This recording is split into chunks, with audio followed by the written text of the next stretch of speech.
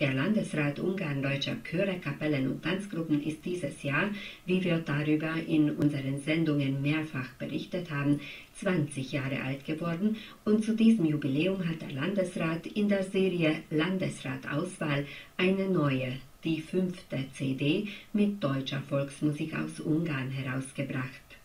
Diese neue Sammlung möchte ich Ihnen heute vorstellen.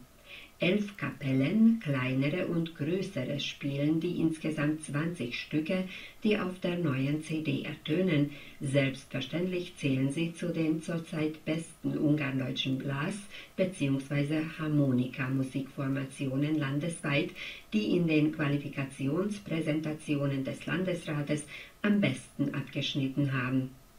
Ich danke dem Landesrat Ungarn-Deutscher Chöre, Kapellen und Tanzgruppen für das Material und ganz besonders dem Chefredakteur des Internetblattes Landesrat Forum, Manfred Meyerhofer, für die Informationen. Die Schnapskapelle wurde 2007 von einem seit langem bestehenden Der Spaß an schwäbischer Musik war es, der die Gruppe zu einer echten Kapelle formte. Die Musiker haben schon früher moderne deutsche Lieder, traditionelle und moderne Blasmusik gespielt, doch die traditionelle schwäbische Volksmusik bedeutete für sie eine neue Herausforderung. Die Aufstellung der Band ist die minimale Blaskapellenformation in einer individuellen Form.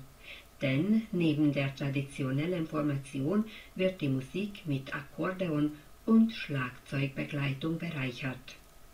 Hochamerika, eine Bearbeitung von Stefan Turi. Sie hören die Schnapskapelle.